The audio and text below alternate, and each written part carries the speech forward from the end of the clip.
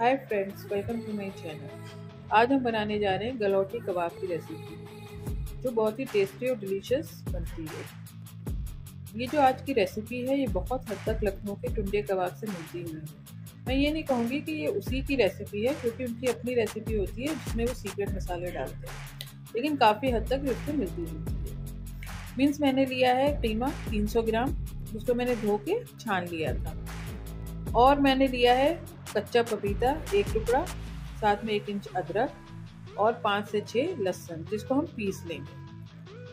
अब हम मिलाएँगे अपने कीमे में नमक और जो पपीता, कच्चा और अदरक लहसुन हमने पीसा है, उसको भी हम इसमें मिक्स कर देंगे अच्छे से। अगर आपको पपीता अच्छे से नहीं पीस पाया तो कोई बात नहीं, हम इसे दोबारा भी ग्राइंड करेंगे मसाले लगाने के बाद। तो आप इसको लगा दें अच्छे से। और इसको हम रखेंगे कम से कम एक घंटे के लिए, ताकि अच्छे से गल जाए। अब हम बनाएँगे कबाब का मसाला। इसमें हमने लिया है दालचीनी एक टुकड़ा, सौंफ वन टीस्पून खशखश ली है मैंने वन टीस्पून ज़ीरा वन टीस्पून साबुत धनिया डेढ़ चम्मच, दो बड़ी इलायची, दो तेज़ पत्ते, और मैंने लिए काली मिर्च, चार छोटी इलायची, चार से पाँच लौंग और मैंने ली है काली मिर्च, जो एक छोटी सी दुम निकली हुई होती है, वो भी इसमें बहुत टेस्टी लगती है, वो भी मैंने ली अब कुछ ड्राई फ्रूट्स हम लेंगे, मखाना, काजू, बादाम, चिरौंजी और नारियल। इसको भी हम रोस्ट करके पीस लेंगे। तो सबसे पहले हम कबाब का मसाला तैयार करते हैं। जितने भी हमने खड़े मसाले लिए थे, उसको हम रोस्ट कर लेंगे और उसको हम ग्राइंड करेंगे। पहले हम खड़े मसाले को रोस्ट कर रहे हैं, खशखश हम थोड़ी देर बाद डालेंगे, महीन होती है तो जलने लगती है। अब हम इसमें मिला देंगे खशखश और बस कुछ मिनट के लिए, एक दो मिनट के लिए हम इसे भूनेंगे, बहुत ज़्यादा नहीं भूनना है।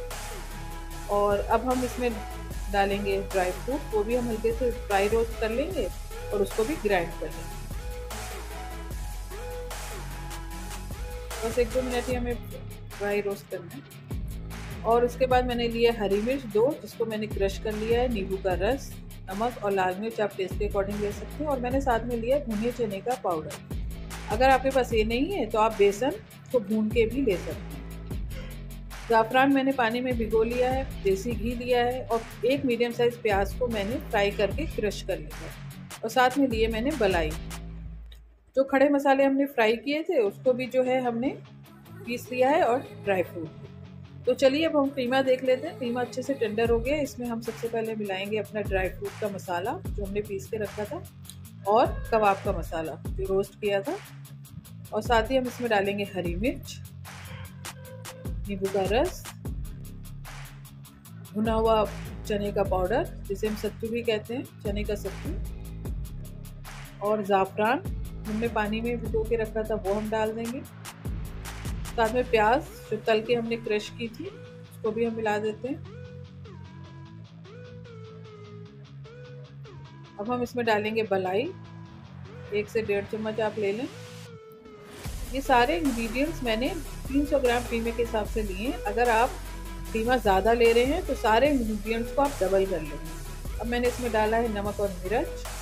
इसको भी हम मिक्स कर लेंगे अच्छे से। सबको अच्छे से कीमे में लगा लेंगे मसाला। देखिए अभी एक घंटा हो गया, मैंने इसके बाद इसको एक बार मिक्सी में चला लिया था, ये अच्छे से मिक्स हो गया है सारा मसाला। अब हम अपना हाथ गीला करते जाएँगे और ऐसे जो पोर्शन जिस साइज़ का आपको कबाब बनाना है, उस साइज़ का आप ऐसे हाथ में ले लें और पानी लगा के इसको शेप दे लें और ऐसे सारे कबाब तैयार कर लें। हाथ गीला करें, ऐसे कबाब का पोर्शन लें, कीमे का और उसको एक शेप दे दें। इसकी शेप बहुत ज़्यादा परफेक्ट नहीं होती है, इसको बस हाथ से ऐसे बनाते जाते हैं और फ्राई करते जाते हैं। तो मैंने पैन गरम कर लिया उसमें मैंने ऑयल डाला, हम शैलो फ्राई करेंगे इसे। अब एक एक करके हम कबाब बनाते जाएँगे और इसमें डालते जाएँगे। लो टू मीडियम फ्लेम पे हम इसको फ्राई करेंगे, देखिए ऐसे। एक साइड से हो जाए तो आप दूसरी साइड से इसको फ्राई कर लें।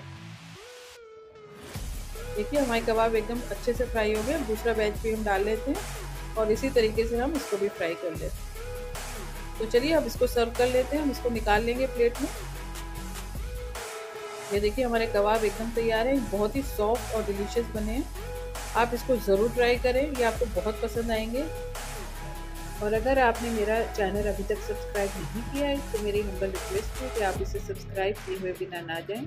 और मेरा वीडियो अगर आपको पसंद आता है लाइक और शेयर ज़रूर करें। मैं एक नए वीडियो के साथ आपसे फिर मिलूँगी। तब तक टेक केयर बाय बाय